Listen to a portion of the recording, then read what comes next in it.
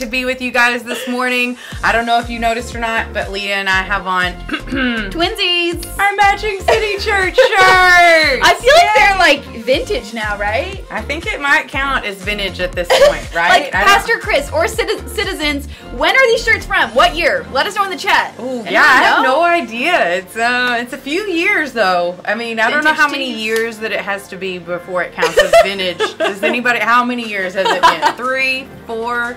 I know that this September we're coming up on our eight-year anniversary as So a church, exciting. which is so exciting. I know.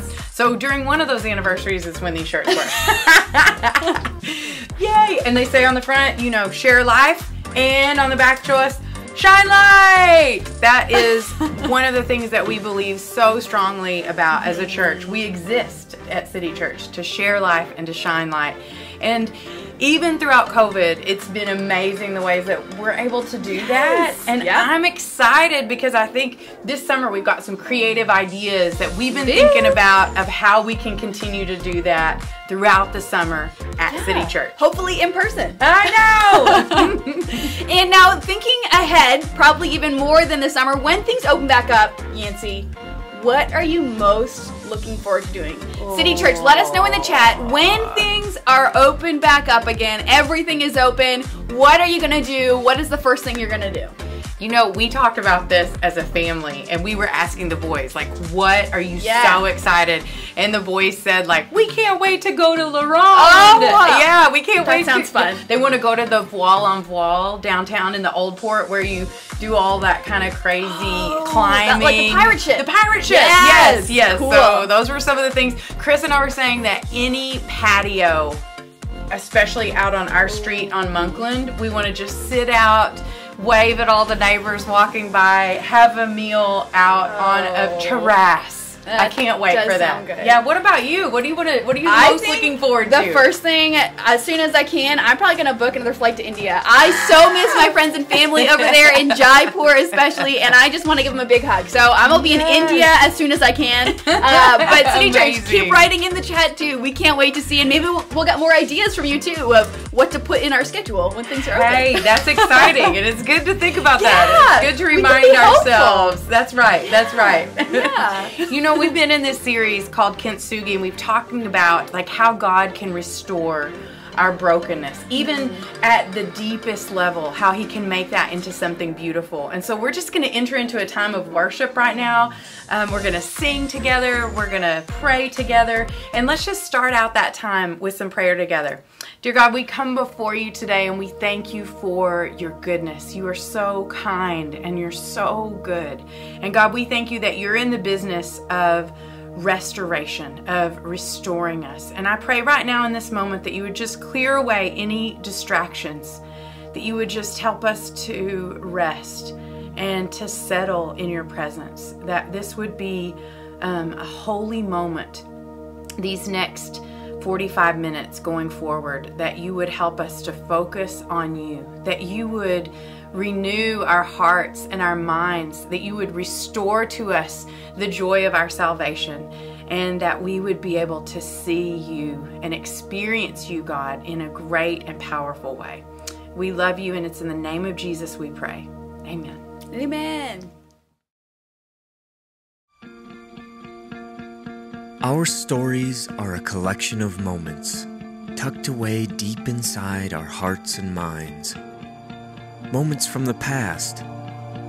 For some of us, what happened in the past can limit our present or cloud the future. We hear a voice from within, a voice that says, You are damaged goods. You are disqualified, weak. What this world sees as broken, Jesus sees as beautiful. Where culture sees defeat, Jesus sees potential. What society labels as rejected, Jesus offers redemption. The Bible tells us that Jesus uses the weak to shame the strong, and the foolish to shame the wise. When we're at our weakest, that's the very place we can tap into the strength of God. It's in this new perspective that we realize our past doesn't have to define us any longer because we are the community of those who couldn't make the cut, the gathering of those not good enough. So may your grief bring about His goodness. May your pain bring out trust in His promises.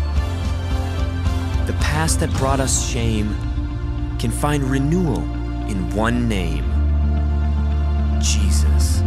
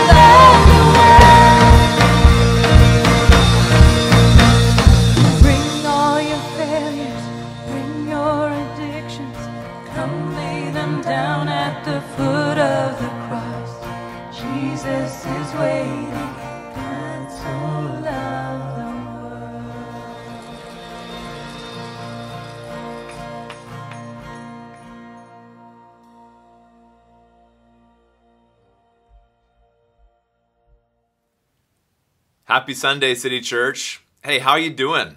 It's been a crazy week. We had a little late snowstorm. Anyone excited about that? Let us know in the comments below if you loved snow, you missed it so much, and you wish it would stay just a little bit longer. I think 99% of us would strongly disagree with that statement. Nevertheless, weather is coming back. We're so grateful that we're in spring. More importantly, we just want to say hey, want to say good morning, bon matin. So excited to worship with you this morning. My name is Pastor Chris.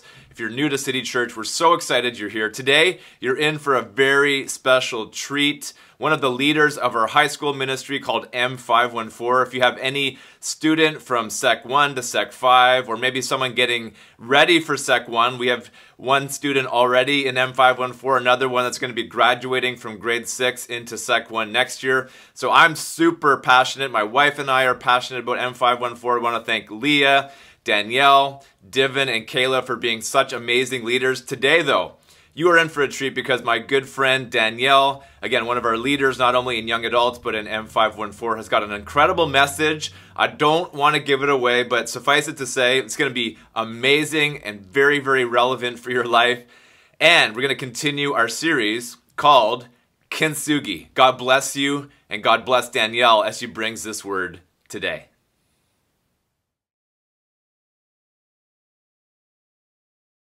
Text me when you get home.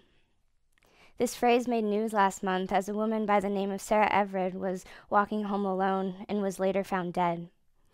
Text me when you get home is something my friends and I say to each other when we are leaving and we are on our way home.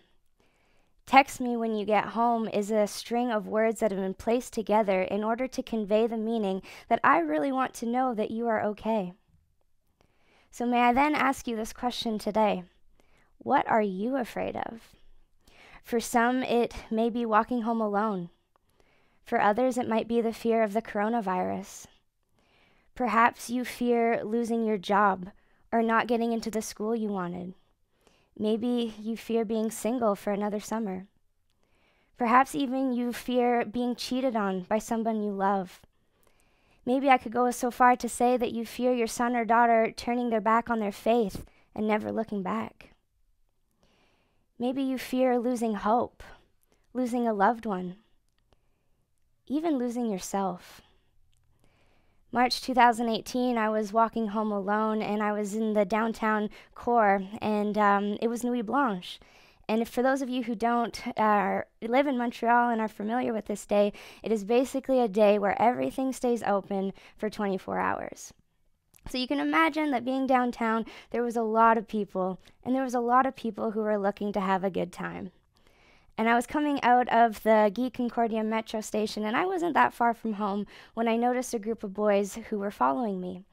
And they were taking photos of me, and they were laughing at me. And I'm, it's sad to say, but this, this happens quite a lot, so I, I'm used to this. But I pulled out my own phone to call a friend as I was walking home, and I noticed that they split off into two groups. And just as I was about to tap my friend's name on the phone, one of the boys ran up behind me, put their hands on my head, and jumped over top of me in the middle of the street. Ever play a game of leapfrog before? That's what this felt like. Except they never asked me if I wanted to play. Now, uh, just like Pastor Chris said, my name is Danielle, and it is really good to be back with you all today. And for those of you who are tuning in for the first time, we are in a series called Kintsugi, and this is week four. Now, Kintsugi is this Japanese art form of restoring broken pieces and putting them back together with gold, making them more valuable than ever before. Wow, crazy.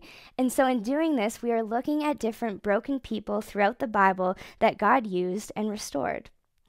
And can I just say that I am so thankful that God is in the business of using broken people like us, that there is no such thing as a perfect resume with God because you are perfect because of whose you are. You don't need a fancy outfit for God to put you on a platform to speak His word. You don't need 70 plus years experience to invite someone to church and then to buy them a coffee afterwards. If we were in person right now and after the service, I would currently be accepting all of your coffee invitations, just saying. And you sure don't need to have all the courage, all the strength, and all the might in the world in order to accomplish what God wants to do. And if there is anyone in the Bible who was familiar with feeling weak, broken and full of fear, it's Gideon. And that's who we're going to be talking about today. Now, I ask you this question again What are you afraid of? Because maybe the one thing that you are afraid of is the very thing that God is calling you to overcome today. Can I pray for us? Father God, thank you so much for this day. I thank you, Lord, that you are in the business of using broken people like us. That at City Church, God, we believe that there is no such thing as a perfect person. God, we are broken, but because of you and because of your Son, Jesus, you are restoring us, that you put us back together better than we ever were. And so, God, I just pray that you would use my voice today to speak to whoever needs to hear this message. God, I pray that nothing I say falls to the ground. And Lord, would you meet us where we're at? And God, would you just be with us today? We are expectant that you are going to show up for each one of us. God, you know our hearts and you know your children better than anyone else. So be with us today. In Jesus' name, amen. All right, so now Gideon's story, for those of you who aren't familiar with him, he's found in the Old Testament in the book of Judges. Now, after Joshua had led the Israelites through to the promised land, the 12 tribes were allocated different areas of land and they were separated, and then they went on to live in their respective areas. But sadly, once Joshua and the leaders of the older generation had died, the next generation grew up and they did not know God, nor did they remember anything that God had done for Israel. For those of you who are currently reading the Bible plan in a year and you are slogging your way through those first couple of chapters of the Old Testament, God did a lot for Israel. He did so much. And so, what this is saying is that when the next generation would grow up, they did not remember anything.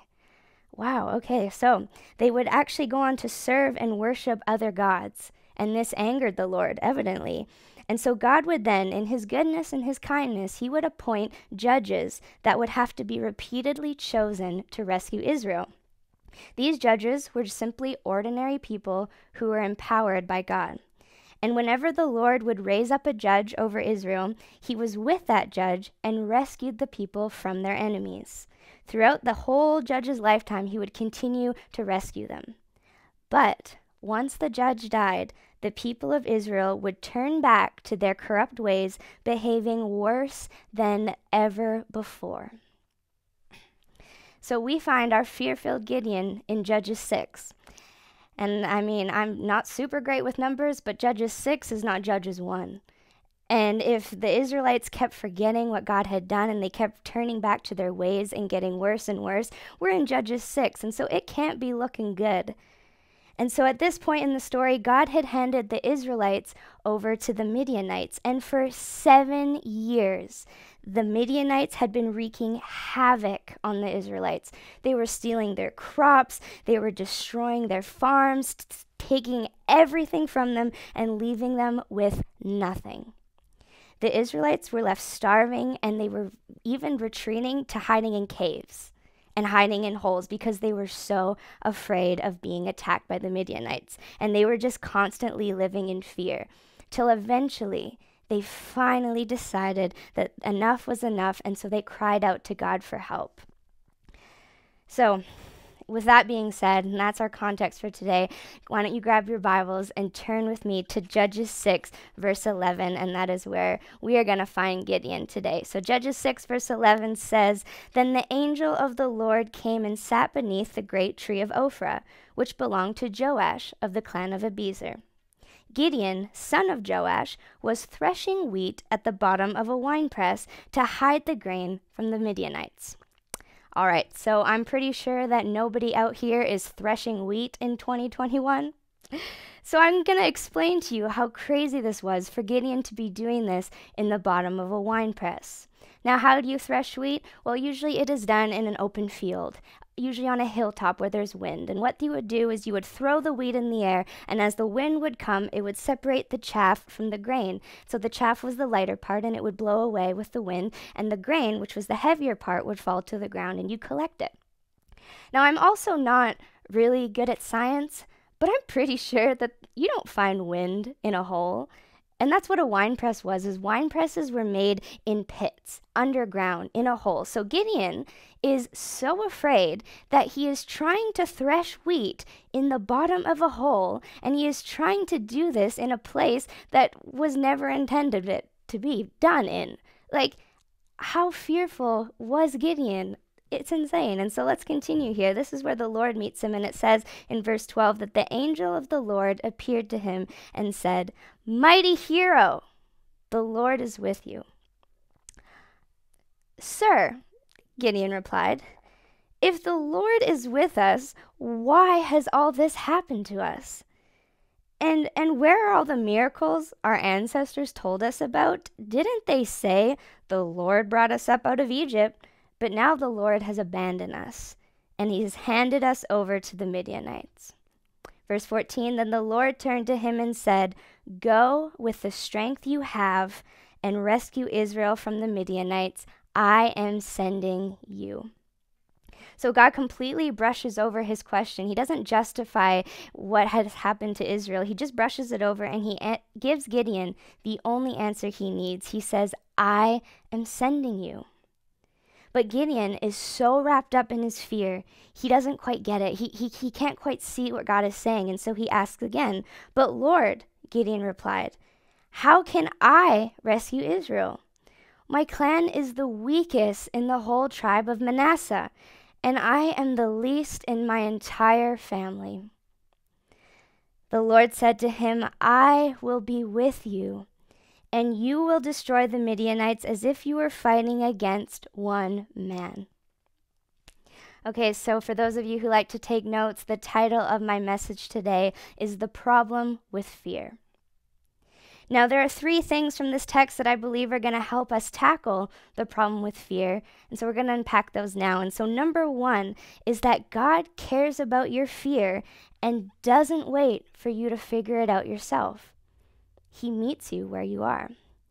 God met Gideon in the pit of his fear, in the bottom of a wine press. Gideon didn't have to try to climb his way out of it before God would meet him there. God met him where he was at in his fear. So, where is God meeting you today? Now, the second thing is that God sees us as he's created us. Mighty hero, God says. Mighty hero. I think if I was to see Gideon, and I'm going to be fully honest and just confess to you today that I probably would not have called him a mighty hero. I would have taken one look at him and said, Man cowering in a pit, you scaredy baby. Not mighty hero. But the thing with God is that he sees us into our potential and not always how we see ourselves.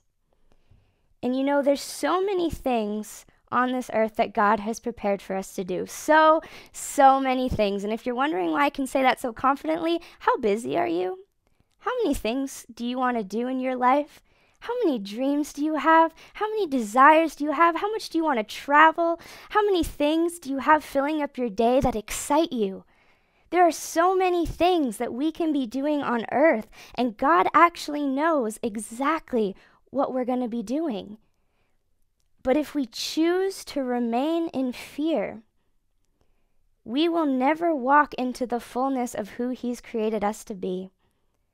God sees us into our potential, not always how we feel. He sees us into who He's created us to be, and if we cannot let go of our fear, we will never walk into that fullness of where He's going to take us. And now, the third thing is that God's presence is not dependent on our performance. God promised this to Gideon. He said that I will be with you.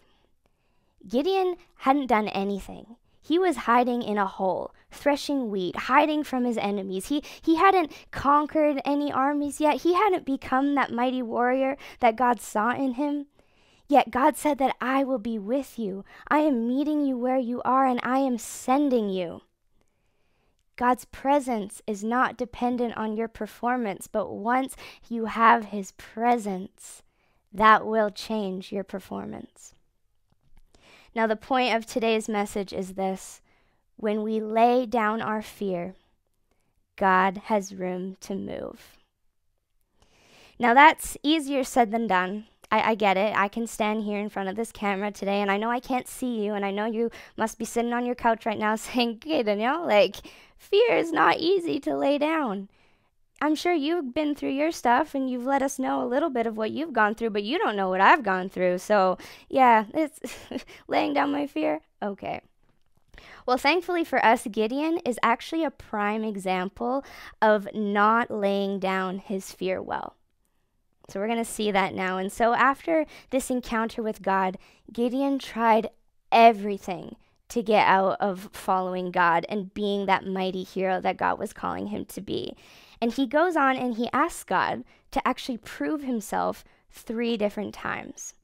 So the first time he says to the angel of the Lord, he says, Okay, um, I just need to make sure that uh, this is you speaking to me. So I, I need to you to prove that this is you. So stay here and don't don't leave until I come back. The angel of the Lord says, Okay, yep, sounds good. So Gideon goes off to his house and he prepares an offering. He prepares a meal. And he brings it back to the angel of the Lord and he sets it on this rock. And the angel takes his staff and boom, fire, blows it up right away. And so Gideon sees this and he says, Okay, whoo, yep, you're God. I, I, I got it. I, I'm sorry for I'm sorry for questioning you. don't don't kill me, please. And so he says, No, Gideon, I'm not gonna kill you. Like don't don't worry about it. And now this is what he gets Gideon to do. So God proves it's really him. And so Gideon says, Okay, what do you want me to do? And so God gets him to go and burn down his father's altar to Baal. Now remember, the Israelites were serial idol worshippers, that they were constantly turning their back on God and worshiping other gods. So God asked Gideon to go and tear down this altar. So Gideon says, Okay, yeah, God, I, I can do that, yeah, but um, I'm gonna go at night. Like, I don't, I don't want to be seen here. I don't want anyone to see me. I don't want anyone to know it was me. So if you don't mind, I believe you, but I'm gonna go at night. so then, once the altar is torn down, Gideon does what God says, and it says that the Spirit of the Lord came powerfully on Gideon. And now you'd think that with the Spirit of God on you, you'd be ready to fight. Not in this case. Fear continues to rule his brain, and he decides that he needs yet another sign from God. This time, he asks God to prove that he'll keep his promise by taking a fleece and putting it at the bottom of the threshing floor. Do you remember the pit where Gideon was in hiding in the hole? So he puts this fleece at the bottom of the threshing floor and he tells God, "Okay, God, I need to know that you're going to keep your promise. So I'm going to go to bed, and when I wake up, I want to see that the fleece is wet and the floor around it is dry." God says, okay. So Gideon goes, goes to sleep, comes back, and in the morning he sees that the fleece is wet and the floor is dry. Now Gideon sees this and he says, wow, God, okay, yeah, thanks for this miracle, but um, I'm still really struggling with fear here. I, I, like, I'm sorry, but I'm to really need you to do this again. But this time, can you just reverse the miracle?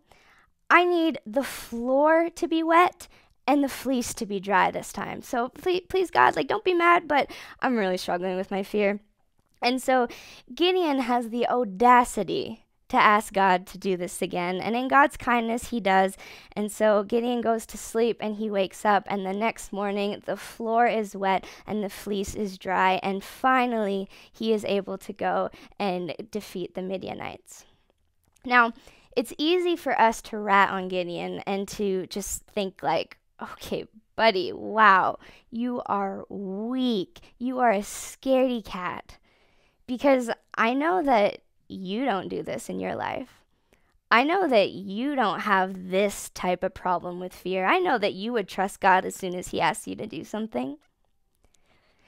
But maybe today, and just amuse me for now, maybe today we could think that we could we could ponder this thought that maybe we don't actually do that. Maybe we aren't so different from Gideon. Maybe we doubt God. We let fear keep us afraid, and we struggle trusting his promises. Again, what are you afraid of? And what is keeping you in fear today? Now, Gideon eventually does go on and he defeats the Midianites after a lot of fear, evidently. And it's a really great story that I encourage you all to go and read on your own time. But I want what I want you to see from this story, from this specific part, is that just because we are broken with fear doesn't mean that God won't move in your life and help put you back together. You don't have to crawl out from the pit of your fear alone because God is meeting you there.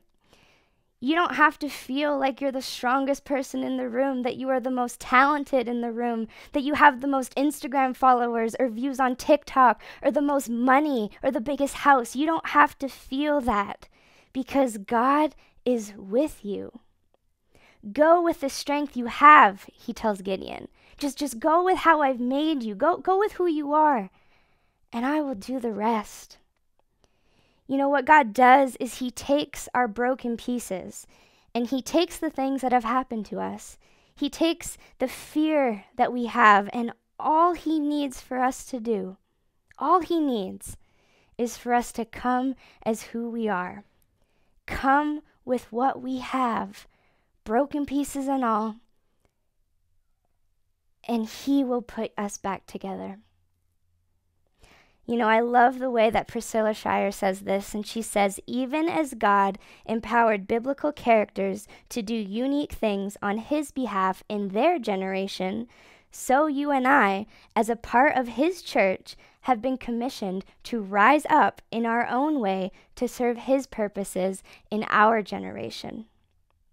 You see, the problem with fear is that it keeps us in our brokenness, it keeps us hiding, it keeps us afraid, and it ultimately keeps us closed off to God.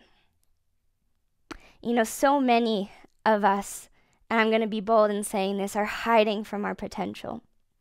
Oh, um, I, am afraid. I, I, I can't do that. Mm oh, um, I'm I'm not like them. Like, have you seen me? I I can't do that. Oh, okay. My voice is a shower voice. I I am not talented. Oh, um, yeah. I'm just disabled, so don't pick me. Like, go. Don't even bother. Oh, I'm nobody important. I will tell you this if you let fear constantly lead your decisions, you will constantly be afraid. Gideon's fear led him into a pit. But if you let Jesus lead your decisions, you will be set free. When we lay down our fear, God has room to move because when Jesus laid down his life, God had room to save. Now, how do we do this? We saw how much it is a struggle to lay down our fear. We saw Gideon struggle. So, how, how do we ultimately lay down our fear? Well, here's a couple things that I believe are going to help us today. And number one is to get yourself around Christian community ultimately you need people we I, I need people i'll just speak for myself then i need people to spur on my faith you need people to spur on your faith. And sometimes we are too caught up in our circumstances too deep in our fear too too deep in the darkness of the pit that we have found ourselves in that we cannot be encouraged. And so we need people around us who will feed our faith and not starve it. You see, the sad thing for Gideon is that none of his family knew God. He didn't have anybody. He, di- he didn't have anybody to help him out of the pit and to see what God wanted to do in his life. He was alone. And so we need people to encourage us when we can't. And now I know that you're probably thinking, well, it's easier for an extrovert like yourself, Danielle, to be staying, go get yourself some Christian community. Well, in 2021, I think it's pretty easy to send a text message and I'm not saying you need to pour out all your fears and your deepest, darkest secrets to the people in your life, but even just a simple, hey, I'm really struggling today. Would you mind praying for me? Hey, I'm afraid of blank. Could you help me with that? Get yourself around Christian community because when we are deep in the pit of our fear, it is really hard to be encouraged. Now, the second thing that will help us with this problem with fear is to acknowledge our fear. Acknowledge what you are afraid of because we can never actually fully lay it down if we don't know what we are laying down. We need to acknowledge what we are afraid of. What are you afraid of today? We need to acknowledge it.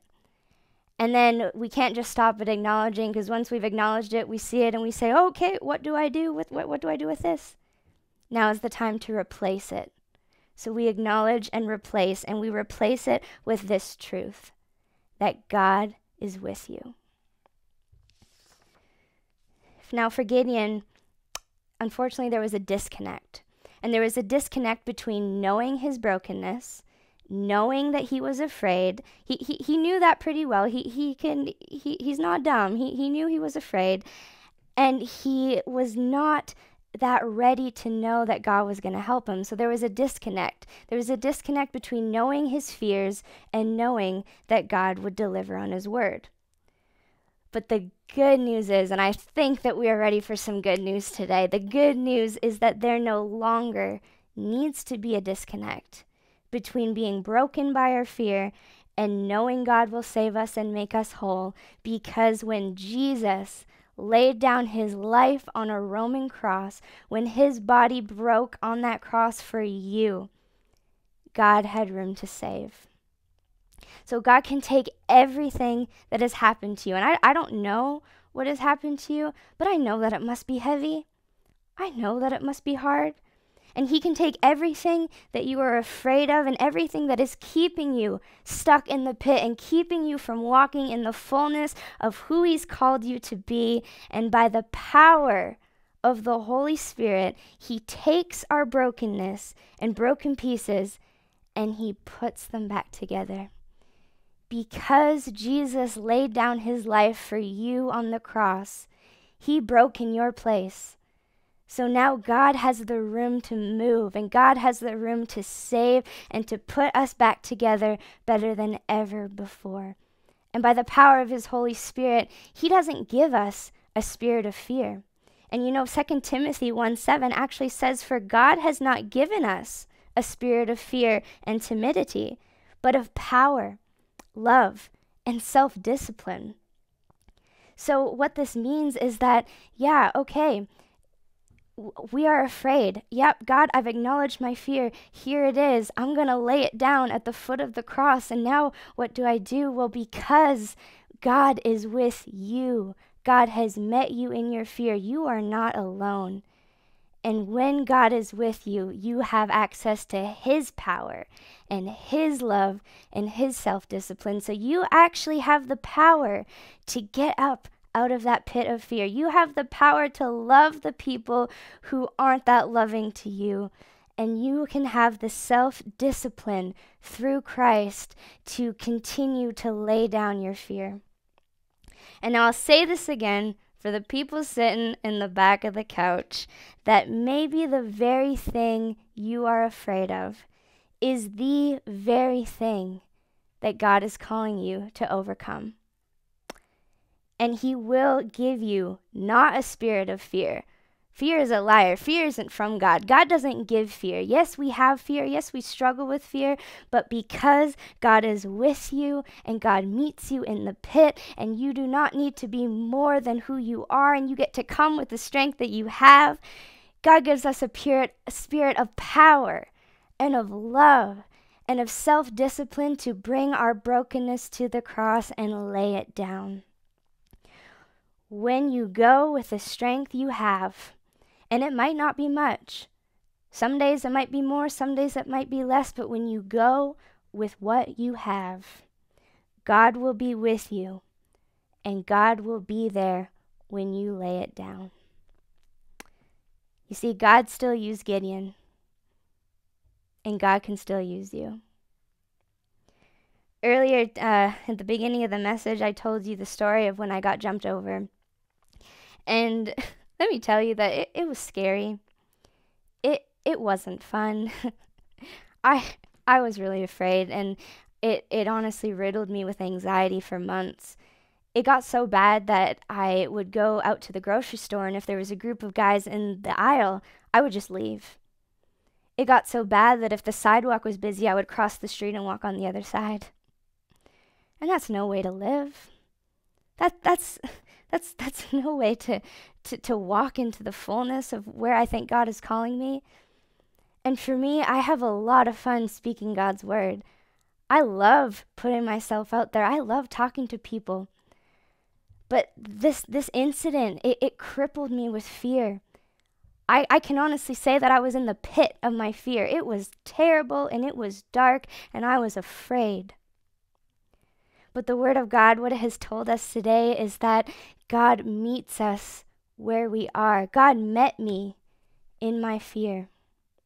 And because He is with me, I have access to His power, His love, and His self discipline. So I have access to the, His power to allow me to open up my front door and walk on the right side of the street. I have access to His love that I can love on people who aren't really loving me. And I have access to His self discipline to continue to lay down my fear when I'm afraid because can I just tell you that there are a lot of things that can make us afraid? And we might lay things down once, we might lay things down twice, but we, on this side of eternity, we will constantly be battling fear. We will constantly be coming up against things that are too big for us. But with the power of God and with this promise that He is with us, when we lay down our fear, God has room to move in incredible ways. Where I can stand up here today and we get to share this awesome moment together and we get to learn through Gideon's brokenness how to overcome our own brokenness. And I'm no longer afraid. I'm no longer hiding in this pit.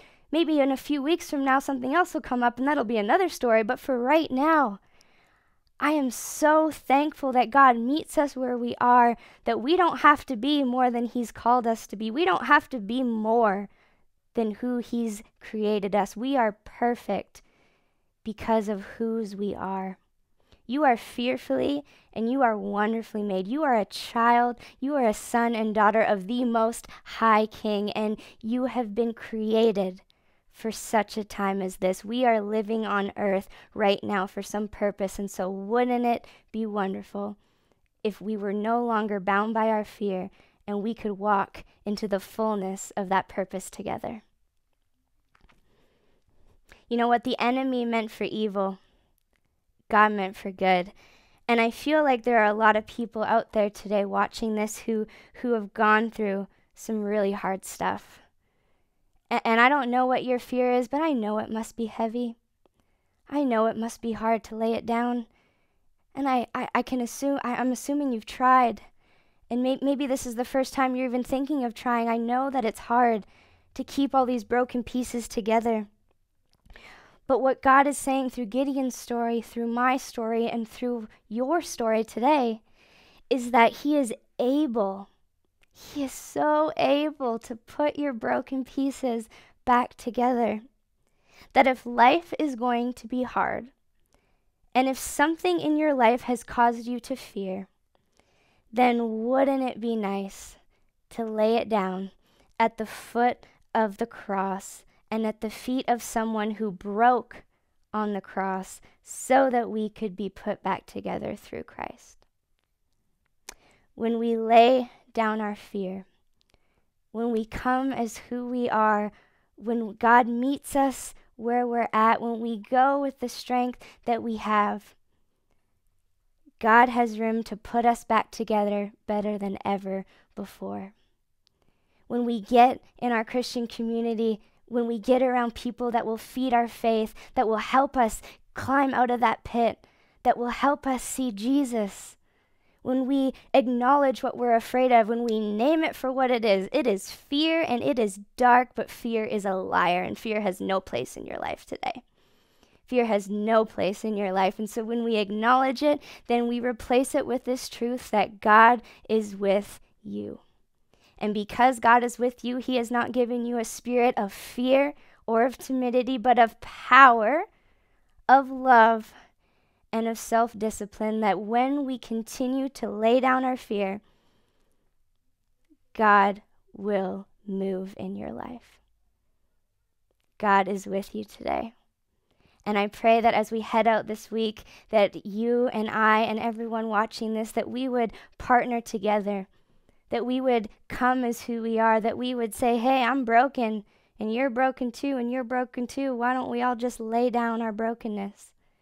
And I pray that as we lay down our brokenness, you would be restored, that God would put you back together better than ever before.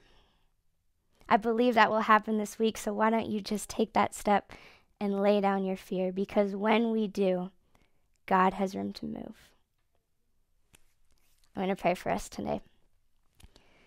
Lord Jesus, thank you so much for coming to earth. Thank you so much for coming to do the one thing that we could never do. God, I thank you for who you are. I thank you that you are with us. I thank you that you don't require us to be anything more than who you've created us to be. And God, I know that there are a lot of people out there today who have fear, who have their brokenness. And God, would you fill us with your power and your strength and your courage to lay it down at the foot of the cross?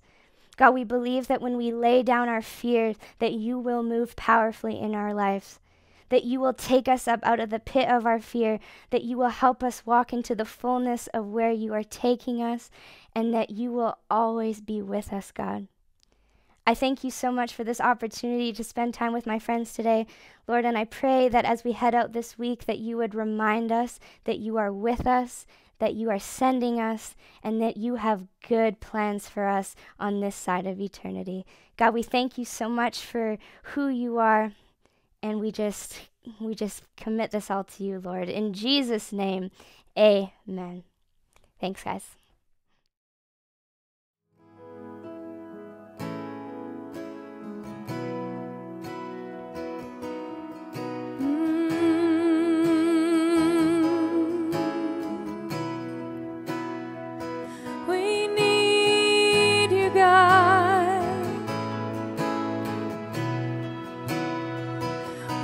Trust you, Father. Oh.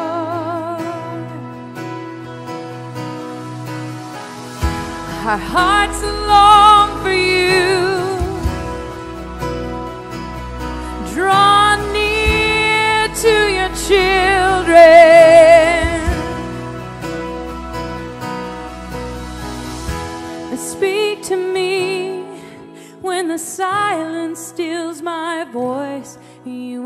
Understand me. You understand me.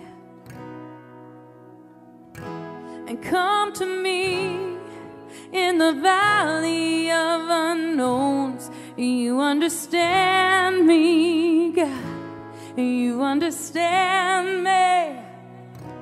You understand me. You understand. So I cast all my cares before you. My doubts, my fears don't scare you.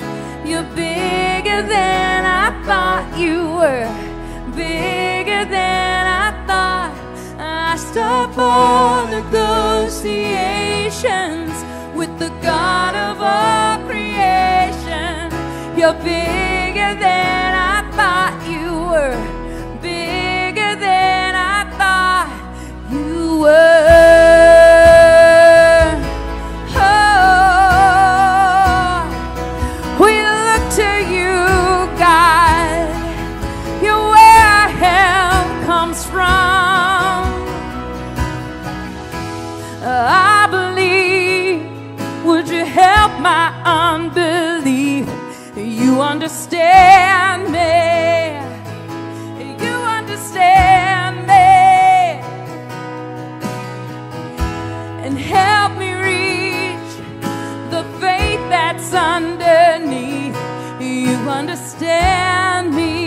God. You understand me. You understand me. You understand me. So I cast all my cares before you. My doubts, my fears don't scare you. You're bigger than I thought you were. Bigger than I thought. Stop all negotiations with the God of all creation. You're bigger than I thought you were. Bigger trust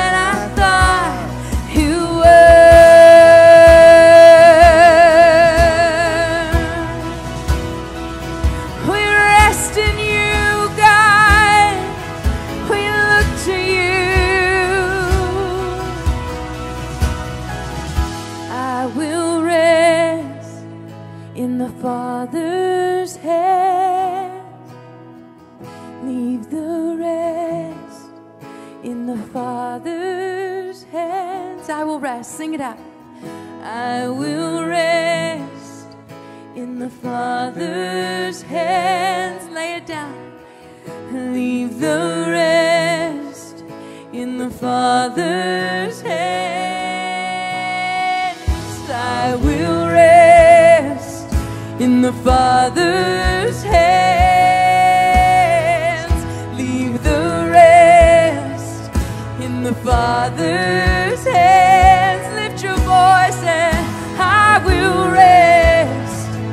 in the Father's hands. Leave the rest in the Father's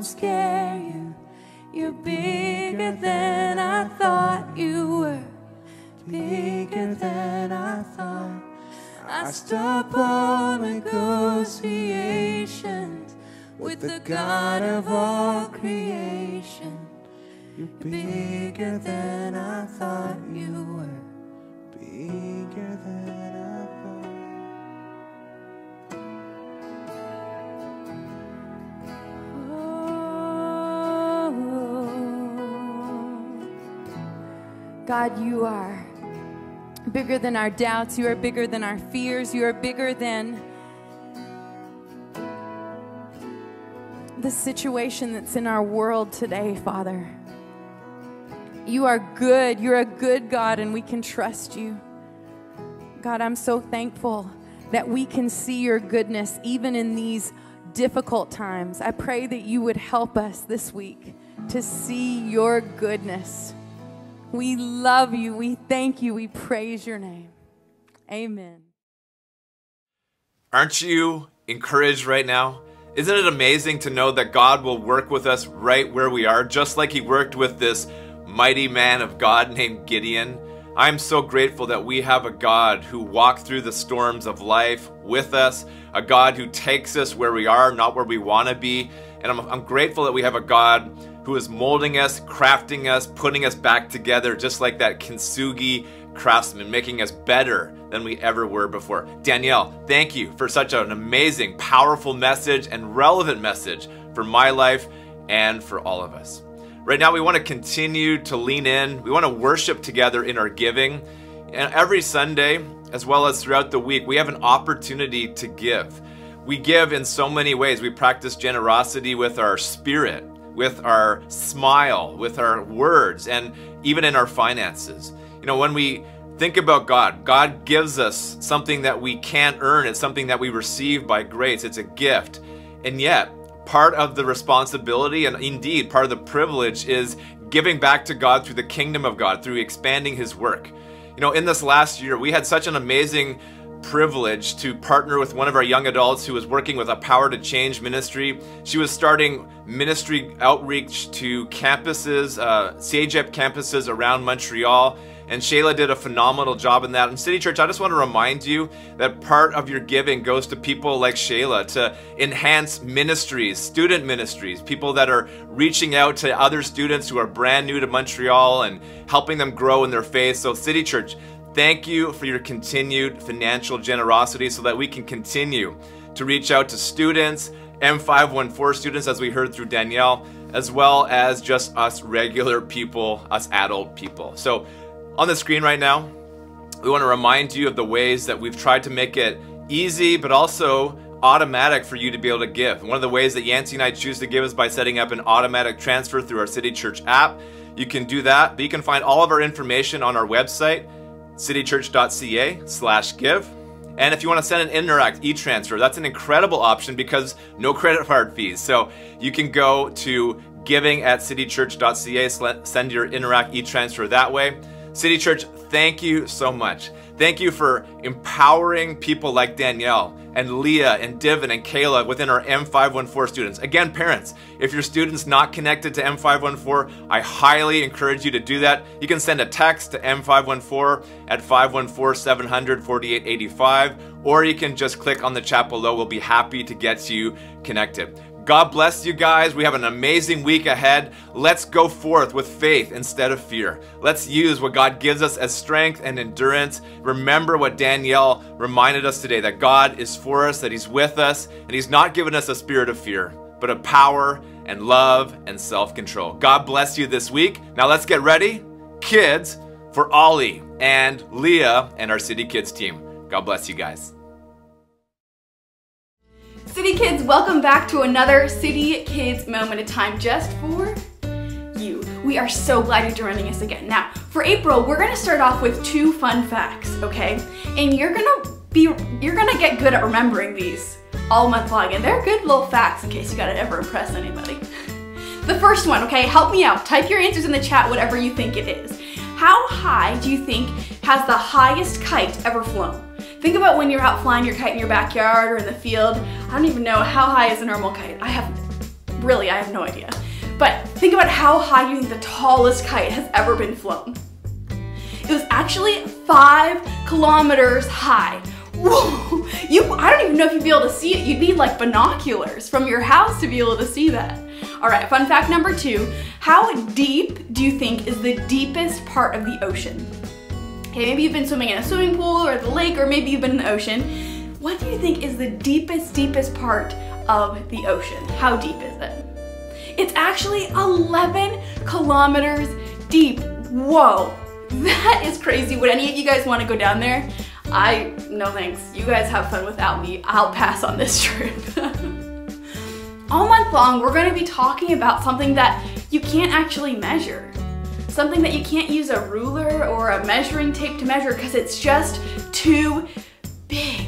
We're gonna be talking about God's love. It is way too big for us to measure. We're gonna talk about how wide and how long and how deep and how wide God's love is. So let's try our memory verse together. Remember the first time, repeat after me. How wide and long and high and deep is the love of Christ. Ephesians 3, verse 18. Great work, City Kids. Now let's do it again, but let's kind of ramp it up. Turn up the dial to like 12, okay? So we're gonna do it all bigger and better, okay? So let's do it all together. Are you ready?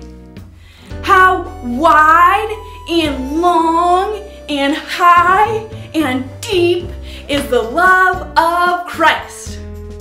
Ephesians 3, verse 18. City kids, I don't know about you, but I am just so thankful that God's love is too big for us to even measure. Here comes the countdown, and then we're to listen to Ollie.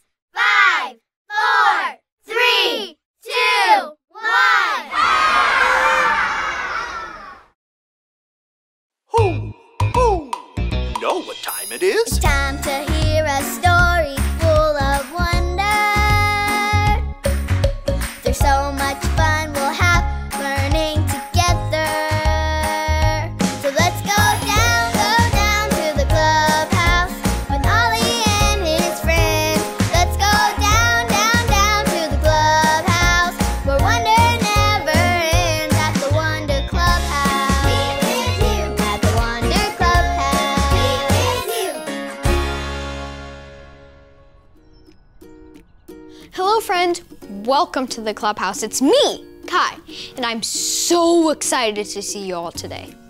I've been working and working on decorating my new kite, and I'm kind of stuck. Do you think you can help me? Great, thanks. The thing is, I want my kite to look really special. I want it to look like no other kite in the history of kites. And when I fly it, I want people to say, hey, look, that must be Kai's kite.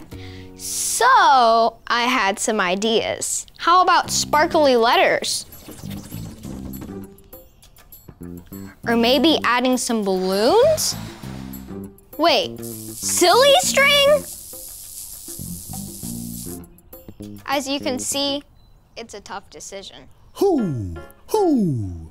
It's Ollie! Hello there, Kai. Who? Who?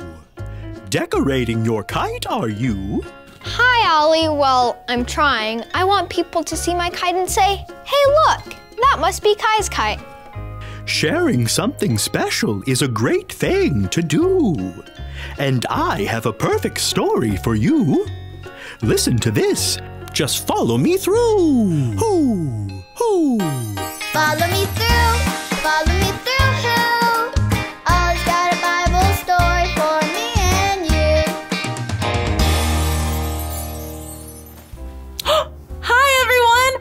Aisha. Welcome to my cupcake food truck. Do you want to see my latest creation? Ta-da! They're my Jesus is Alive celebration cupcakes because all month long we've been celebrating how Jesus wants to be our friend forever. and we can tell all our friends about Jesus. In fact, that's what today's story is all about. If you're ready, on the count of three, yell, Tell me a story. One, two, three. Tell me a story.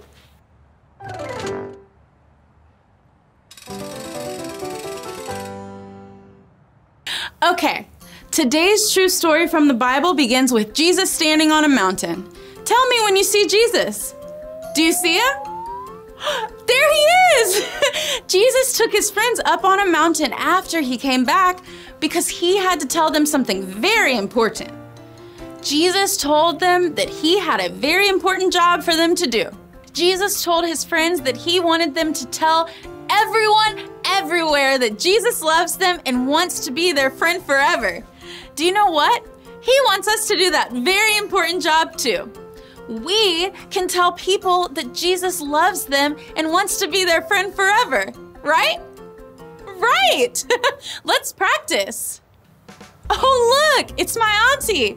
Let's call her and say, Jesus loves you and wants to be your friend forever. Ready? Go. Jesus loves you and wants to be your friend forever. Good job! Oh, look, it's the cashier at the grocery store. Let's tell him Jesus loves you and wants to be your friend forever. Ready? Go. Jesus loves you and wants to be your friend forever. Wonderful! Let's do one more. Look! It's our friends playing at the park. Hey, friends! Let's tell them too. Ready? Go! Jesus loves you and wants to be your friend forever. Way to go, guys! You did it! That's the big important job Jesus gave us to do. We can tell everyone everywhere that Jesus loves them and wants to be their friend forever.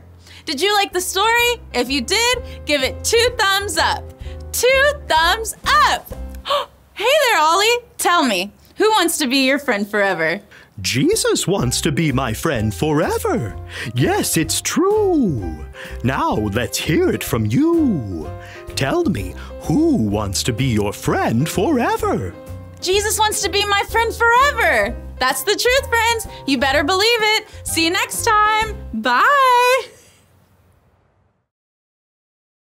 So there's your story. It's all true. We should tell everyone about Jesus, that he wants to be their friend forever. Who? Who? Thanks, Ollie. Goodbye to you. Who?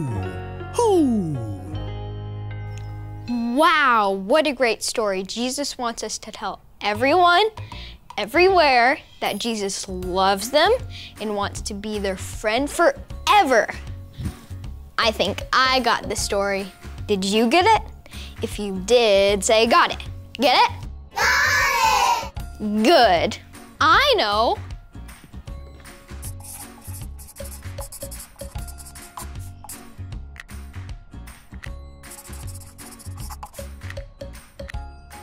I don't want people to think of me when they see my kite. I want them to think of Jesus. So I wrote a big J for Jesus because Jesus is my friend forever. I'll see you guys next time. Bye!